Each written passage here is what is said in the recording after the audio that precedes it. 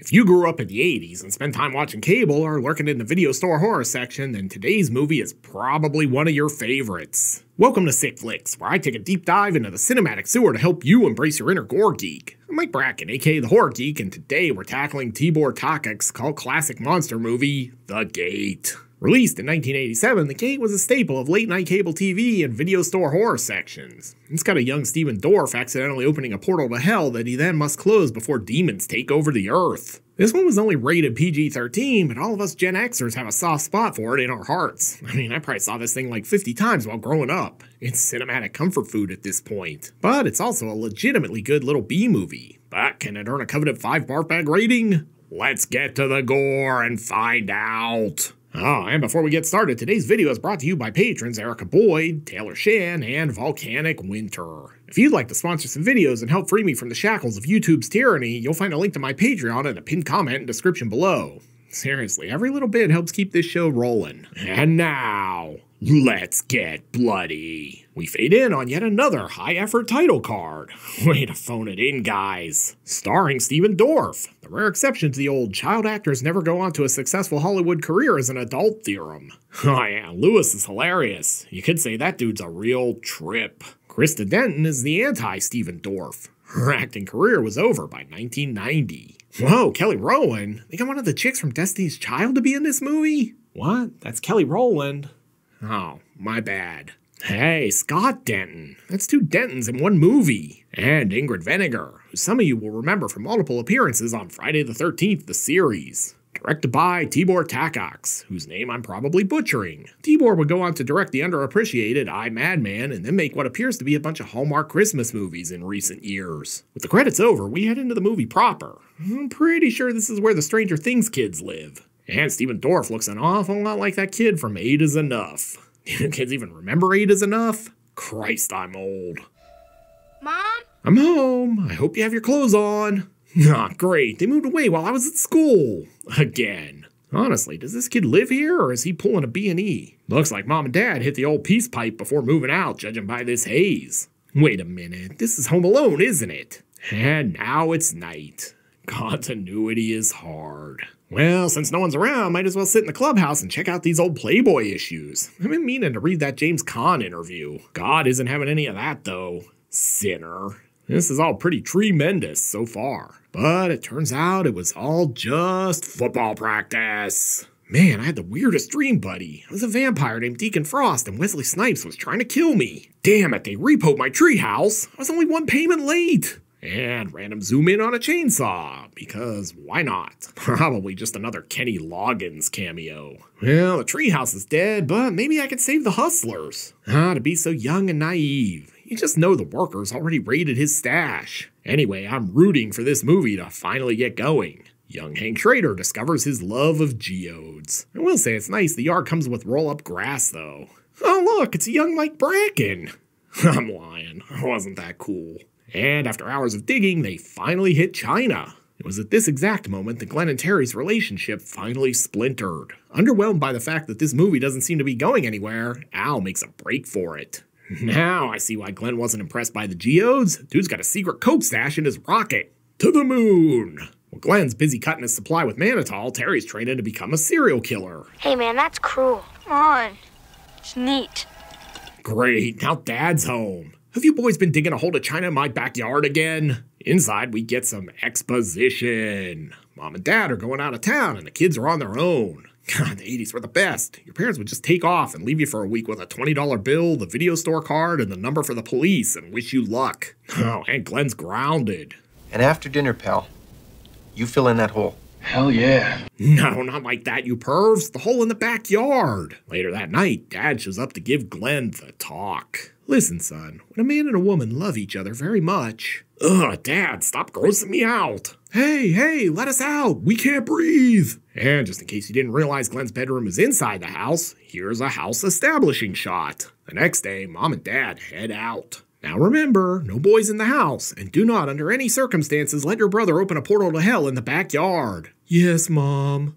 Oh, and I better not come home and find out Kid and Play hosted a house party here or you're both grounded. Judging by that car, looks like they're Audi 5000. Man, not even gone five minutes and the party's already underway. You can tell it's a big night for Al because she's crimped her hair and her bangs. I'm not sure if that's hair or crinkle cut french fries at this point.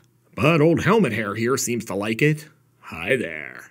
Upstairs, Glenn and Terry are getting their rocks off. Hell yeah. No, not like that. I mean, they're cracking open this geode.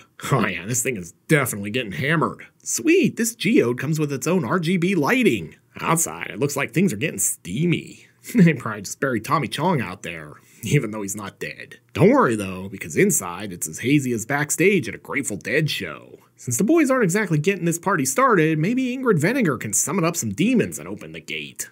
At the very least, she's going to show them how to levitate Glenn. Guessing we're about to see some elevated horror. Oh yeah, this kid is higher than egg prices. And you know what they say, it isn't a house party until the dweeby little brother cries. Terry's gonna sleep over, but of course he's up wandering around in the middle of the night. How is my prostate so enlarged already? I'm 12. Oh shit, Mothra's about to attack. These are probably zombie moths, back for revenge since Glenn and Terry suffocated them earlier. Jesus, these people live next to a Walmart? That's a lot of light from the backyard. Meanwhile, Terry's like, I feel about 10 pounds lighter. Probably should warn everyone not to go in there for at least 45 minutes.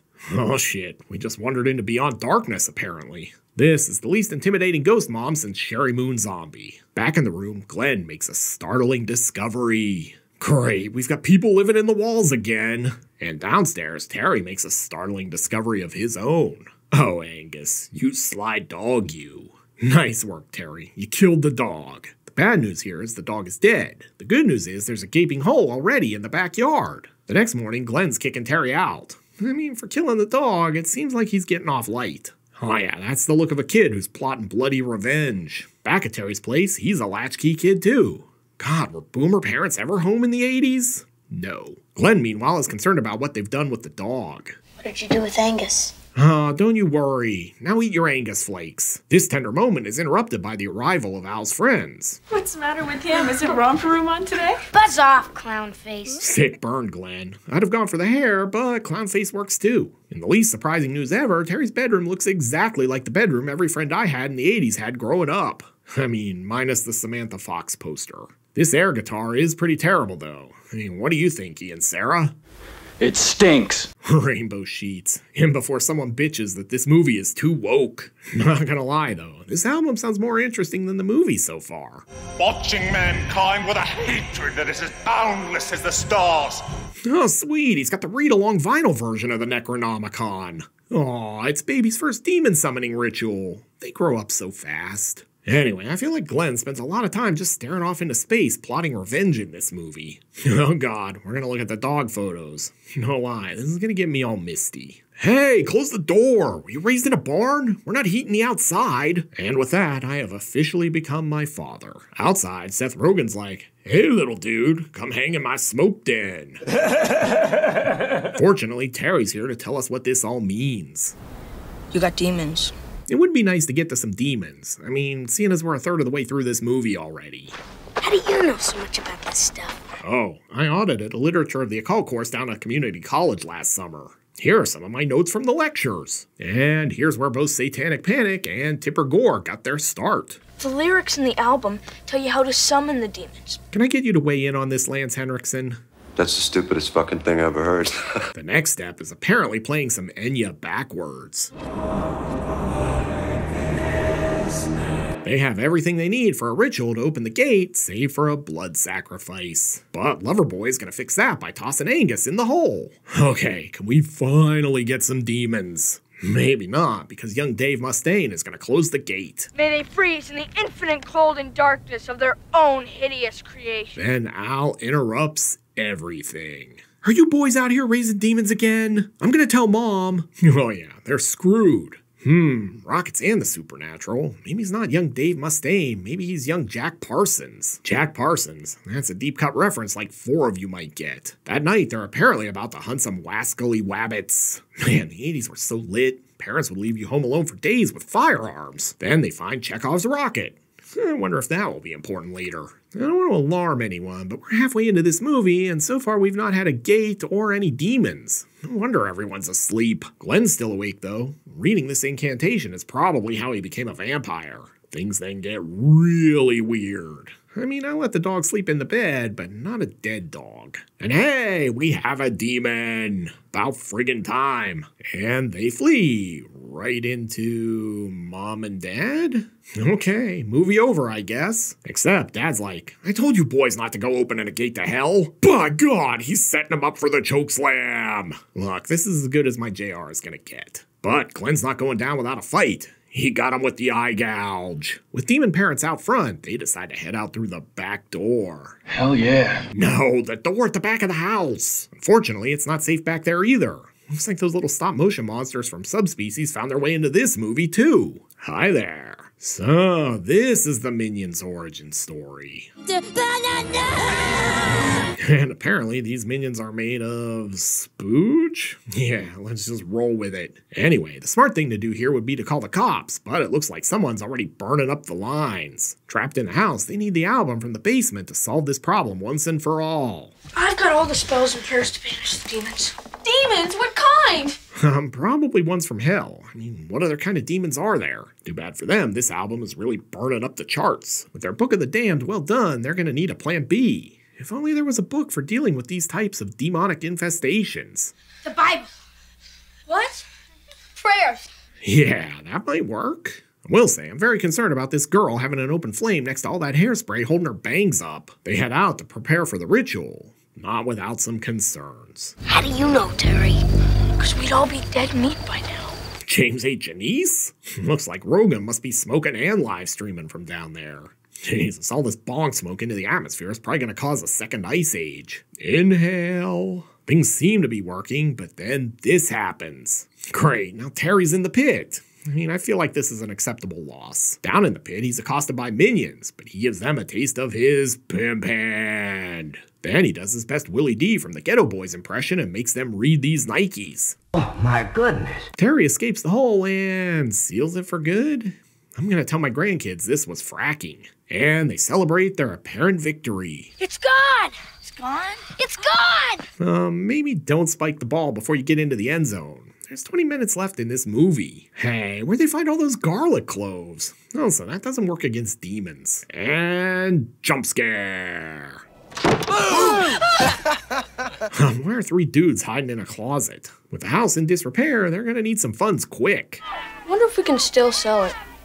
Great, now they're gonna have to redo the drywall too. This house is a real money pit. Fantastic. The house is infested with zombies. Orkin's gonna charge a fortune to solve this problem. Guess he's not down with the whole dining in thing because he's taking Terry to go. But hey, at least the drywall is fixed. Seems like a fair trade. Damn kids and their graffiti. Upstairs, the zombie is back, but don't worry because Al's about to rock his world with this boombox. That was definitely some hard rock. Glenn runs for the gun, but all he finds is Terry the Rat Boy. Dude's probably been gnawing on all the wiring in the walls, which is why none of the lights work in this dump. Then we get a horror film first. A Barbie doll as a weapon. Anyway, they do find Chekhov shoddy, but I'm not sure hiding in the closet is the best idea. Told ya. Great, now they have their two sacrifices. Nice work, Glenn. Second human sacrifice. Might be time to call Blade. Maybe get a Marvel crossover issue happening here or something. Oh yeah, this place is just falling apart. We're gonna need Chip and Joanna Gaines and the property bros to fix this place. I mean, really, who builds a floor with no foundation under it? That's just shoddy workmanship. Even the stairs are shot. How'd this place ever pass inspection? Shotgun might have been a dead end, but that's okay because we've still got Chekhov's rocket, and I'm guessing that's gonna be a winner. And he's gonna need it because here comes the minion Big Daddy.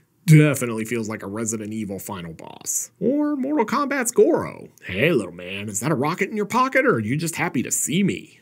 Great. Now his hand is turned into the paperback cover for Stephen King's Night Shift. And clearly, Cheech, Chong, Seth Rogen, Snoop Dogg, Redman, and Willie Nelson are down in that hole now. The whole state's gonna get hotboxed at this rate. Damn, it's like the Erd Tree from Elden Ring. With all this debris flying around, it's no real surprise Glenn got something stuck in his eye. Out of options, it's finally time for Glenn to try the rocket. I sure hope this thing works because this would be a terrible time to develop a case of projectile dysfunction. yeah, I think we've all been here. Houston, we have liftoff. Finish him! Yeah, I'm sure this is fine. I mean, Neil deGrasse Tyson will be along any second now to tell you that Stephen Dorff flew off at 14 Gs and would explode into pieces on impact, but I'm willing to suspend my disbelief. Sweet, they must have bought the house next door to the poltergeist house. And now it's the 4th of July in a Canadian movie. Oh, say, can you see by the dawn's early light? Hey, they must be in the eye of the hurricane. Jim Cantore's probably around here somewhere. Jesus, I sure hope mom and dad were current on their homeowner's insurance. Aw, Angus is back. What the hell? Is that closet a gateway to Narnia or what? The catch is that he's been to the pet cemetery and is now gonna murder everyone when they're asleep. And Terry and Al are back too because no way was this movie gonna murder two kids. Plus, it looks like Claudio Fragasso is filming next door. This is basically how every illicit party I had in high school ended. A lot of smoke, but the house was still technically standing. I call that a win. And cue credits. So, what have we learned from the gate? Well, for starters, that you can make a horror movie with kid leads who are actually kids and not have it suck. Dorff, Tripp, and Denton are all pretty good in this one. Beyond that, it's also possible to make a kid friendly PG 13 horror movie that works for adults. Win win, really. But enough about that. Can the gate summon up enough splatter to earn a coveted 5 barf bag rating? Let's go to the gore card! In terms of gross anatomy, the gate is pretty light. This was a PG 13 movie, so it's impressive they squeezed any gore in at all. We're treated as some cool rubber monsters, zombies, one brutal eye gouge, a crumbling head, and a shard of glass to the eye. The effects aren't gruesome, but there's enough here to give the gate a 2 barf bag rating. It's not a sick flick, but if you grew up in the 80s, you love it anyway. Looking for another cult classic 80s monster movie? Then be sure to check out my review of The Blob. You'll find a link here on the screen. I'll meet you over there. Until next time, I'm Mike Bracken, aka The Horror Geek, bringing you all the splatter that matters.